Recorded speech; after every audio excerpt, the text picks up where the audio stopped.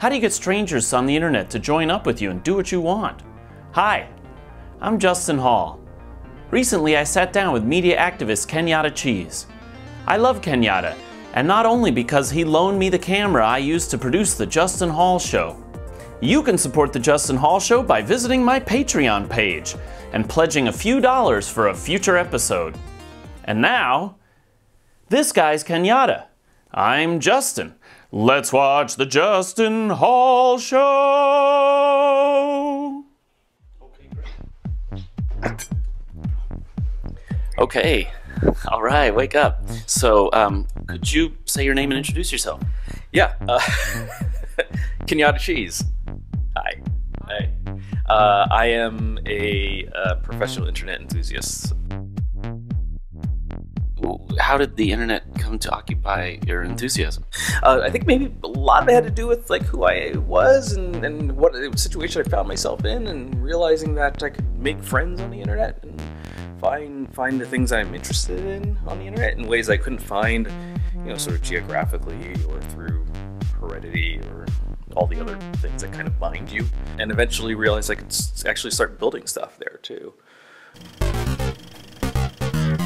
No matter what else he does, Gary Brolsma's Numa Numa dance will be a classic in internet meme history. create something that called Know Your Meme with a couple of friends.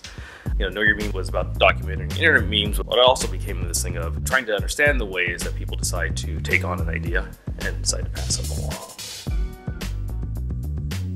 Why something will sort of explode one day and disappear the next, how they decay over time, how they become more than content, but they become actual language. They become ways for people to communicate. The awesome thing about internet memes is that it is a folk art, like it is emergent.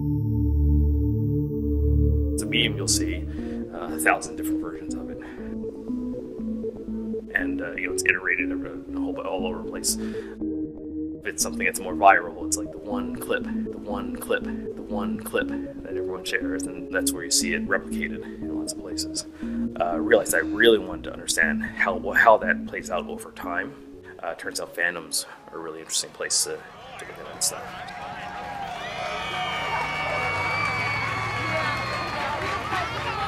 So I started consulting for folks like BBC America and got to get a really good understanding of how the universe of fans around Doctor Who kind of has kind of evolved and become like this amazing, amazing space of creators and and organizers that look less like the traditional idea of what, what a TV fan is, right? Uh, and more like organizers, like more like people who are creating community. And there's something incredible in that right? There's something incredible about people finding each other, regardless of maybe geography or where you were born or what family you're born into or, or anything else. And the fact you're able to find each other the internet and, and be able to connect with somebody else who all has this common love. That's that's incredible. It's great. Now we, you know, we have a company called Everybody at Once that does audience development for things that people love. What actions do you see people taking at the end of these sorts of connective experiences with media objects? They're learning to express themselves. They're teaching each other how to better express themselves. You know, we don't teach people how to be community organizers. Right? We don't teach people how to find other like-minded uh, folks. Folks, folks. I think there's going to be a greater need for it. I don't think we're necessarily going to meet that need. I think there are going to be a lot of things that are going to look like community organizing that'll probably end up acting more like marketing or acting in ways that aren't necessarily beneficial to both, say, a creator and, and an audience. But I think the ones that do figure that out are going to do really interesting things down the line. Like One Direction fans on Twitter who meet every day to try to figure out how to get a different version of a One Direction hashtag to trend.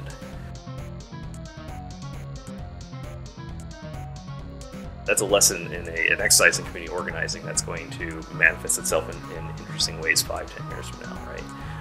When a lot of folks who are doing that start to, you know, expand their world and expand the, the things that they care about. And maybe they do get involved with, with something that feels more traditionally political or just sort of community oriented. It's going to be really interesting, right? They're going to have a completely different like view on this stuff than we do. Is optimism or pessimism even applicable? How do you answer that question? I always get the impression that you're optimistic. Is that right?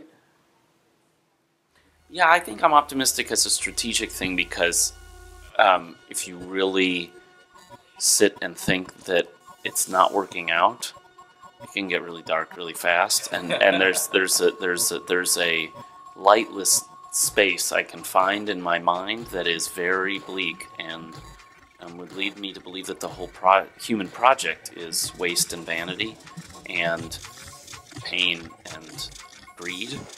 And I would prefer to think that it's uplift and connection and you know mutual experimentation for positive outcomes. But figuring out what positive is is tough when it seems like so much of it's a zero sum game. I don't know. I, I, I, I waver. can't just think about ourselves. We have to think about uh, how do we actually set all of us up for this magically cyberpunk future called tomorrow. I'm sorry to ignore you this whole time. I've been looking here a lot, and I, this is what happens when you start talking about things. You just sort of go and go and go and go and go, and then all of a sudden it's like, oh my god, you're in the room too. I'm so, ah, uh, it's so rude of me. I'm sorry. We, but we, we should talk, catch up later though. You and I. We'll, we'll, we'll, we'll, we'll talk later. It's good seeing you. It really is. Yeah. Yeah. Yeah. Yeah, that intimacy.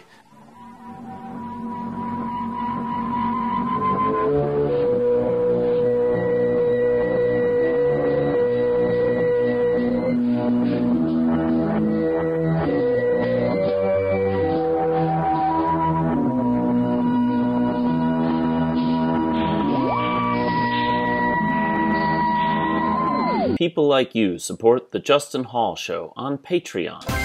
Visit patreon.com slash Justin.